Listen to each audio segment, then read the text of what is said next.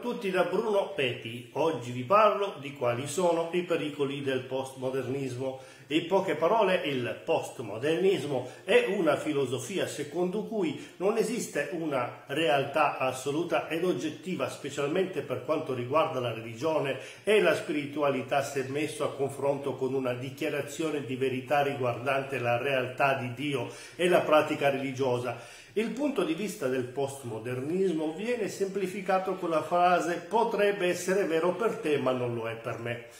Mentre una risposta simile potrebbe essere completamente appropriata quando si discute di cibi preferiti o di preferenze riguardo all'arte, una mentalità del genere è pericolosa quando viene applicata alla realtà perché confonde questioni di opinione con questioni di verità. Il termine postmodernismo letteralmente significa dopo il modernismo e viene usato per descrivere filosoficamente l'era attuale che è venuta dopo il modernismo. Il postmodernismo è una reazione, o forse sarebbe più appropriato dire una reazione disillusa alla promessa fallita del modernismo di usare la religione umana da sola per migliorare l'umanità e rendere il mondo un posto migliore. Dal momento che una delle credenze del modernismo era che esistessero degli assoluti, il postmodernismo cerca di correggere le cose eliminando prima di tutto la verità assoluta e rendendo ogni cosa, incluse le scienze empiriche e la religione, relativa alle credenze e ai desideri di un individuo. I pericoli del postmodernismo possono essere visti come una discesa progressiva che comincia con il rifiuto della verità assoluta e poi conduce alla perdita di distinzione nelle questioni di religione e di fede e culmina in una filosofia di pluralismo religioso secondo cui nessuna fede o religione è oggettivamente vera e dunque nessuno può sostenere che la sua religione sia vera e un'altra falsa.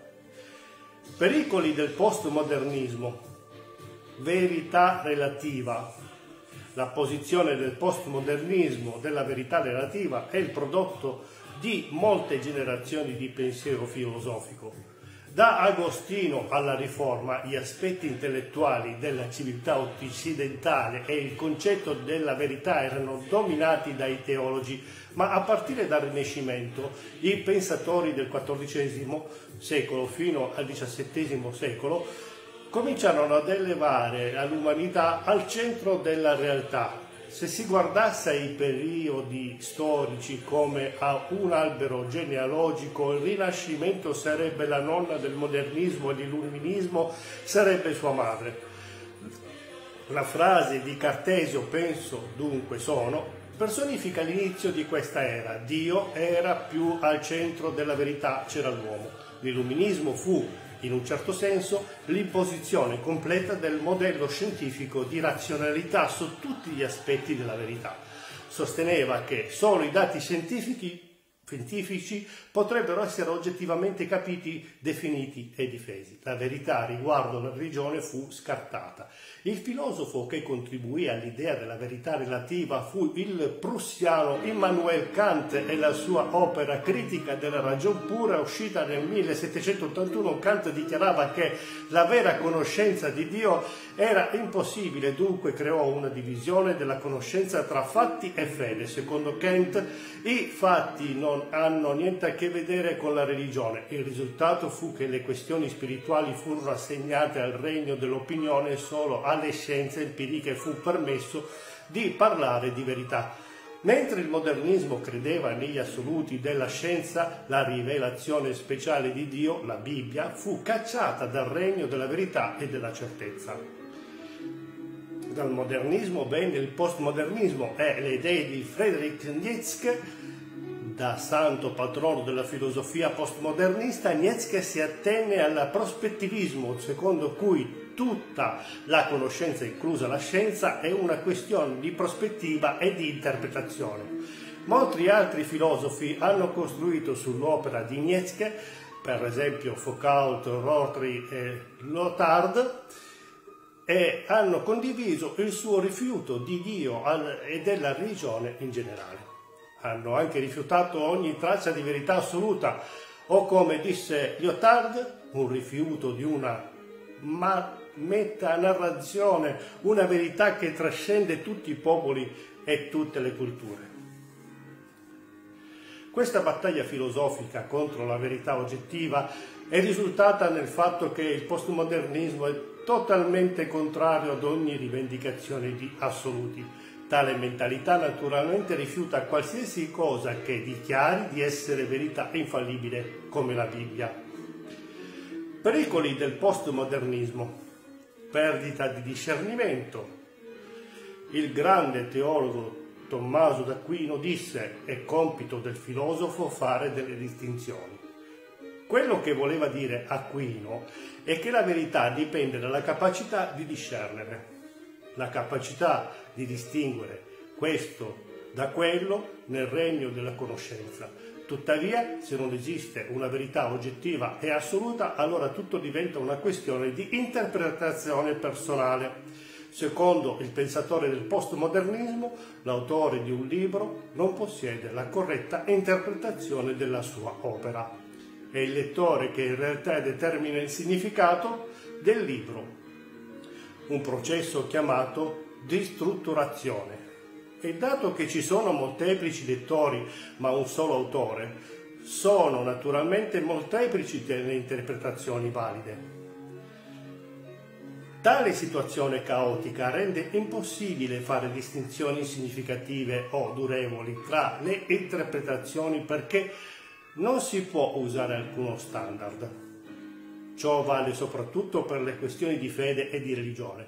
Tentare di fare delle distinzioni appropriate e significative nell'era della religione sarebbe come discutere che la cioccolata è più buona della vaniglia.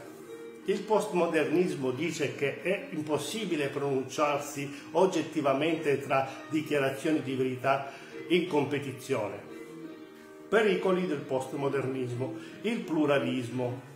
Se la verità assoluta non esiste e se non c'è alcun modo di fare delle distinzioni significative di che cos'è giusto o sbagliato tra differenti fedi e religioni, allora la conclusione naturale è che tutte le credenze devono essere considerate ugualmente valide. Il termine adatto per questa derivazione pratica del postmodernismo è il pluralismo filosofico. Con il pluralismo nessuna religione ha diritto di dichiararsi vera e di dichiarare le altre fedi false o persino inferiori. Per coloro che sposano il pluralismo filosofico-religioso non esiste più alcuna eresia, ma rimane forse l'opinione che esistano delle eresie. D. A. Kerson sottolinea che quelle che sono le preoccupazioni dell'evangelismo conservatore nei confronti di ciò che considera come il pericolo del pluralismo. Nel più cupo dei miei stati d'animo a volte mi chiedo se la brutta faccia di ciò a cui mi riferisco come pluralismo filosofico non sia la minaccia più pericolosa al Vangelo dell'ascesa dell'eresia gnostica del secondo secolo. Questi pericoli progressivi del postmodernismo, verità relativa, perdita di discernimento e il pluralismo filosofico rappresentano delle minacce imposte alla cristianità, in quanto respingono collettivamente la parola di Dio come qualcosa che non ha una vera autorità sull'umanità e non ha la capacità di mostrarsi vera in un mondo di religioni in competizione. Qual è la risposta del cristianesimo a queste sfide? Risposta ai pericoli del postmodernismo. Il cristianesimo afferma di essere assolutamente vero che esistono delle distinzioni significative nelle questioni di giusto, sbagliato, di verità spirituale e falsità e che affinché sia corretta nelle sue dichiarazioni su Dio, ogni dichiarazione delle religioni concorrenti deve essere incorretta. Tale posizione provoca accusa di arroganza e di intolleranza da parte del postmodernismo. Tuttavia la verità non è una questione di atteggiamento o di preferenza e quando vengono attentamente esaminate le fondamenta del postmodernismo crollano rapidamente, rivelando che le rivendicazioni del cristianesimo sono sia plausibili che convincenti. Prima di tutto il cristianesimo afferma che esiste la verità assoluta. Infatti Gesù dice specificatamente che egli fu mandato per fare una cosa, per rendere testimonianza della verità. Giovanni 18:37. Il postmodernismo dice che non si dovrebbe affermare alcuna verità, ma la sua posizione è controproducente, afferma almeno una verità assoluta, che nessuna verità dovrebbe essere affermata. Questo significa che il postmodernismo crede nella verità assoluta. I suoi filosofi scrivono dei libri affermando cose che si aspettano che i loro lettori accettino come verità.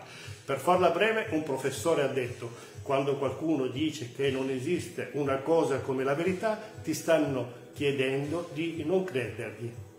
Così non farlo.